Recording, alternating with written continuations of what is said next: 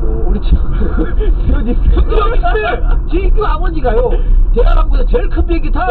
야. 그거 그 큰 비행기 미국 가는 비행기잖아. 어, 어. 아 저기 그 페이스 퍼스트 클래스 어. 제일 그거 있잖아. 어, 있어. 아, 거기 저기 스튜디오가 몇 명 탈 거야.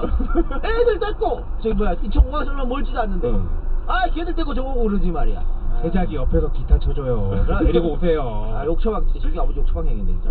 에이 얘들. 아, 근데 진규도 이제 욕처방 듣고 공부도 좀 하게 되고. 그 진규 동생이 있어요 동생이. 오빠, 에? 어, 오빠 욕처방 듣고 지도 같이 공부하고. 한층 놀란 거야? 그럼. 왜?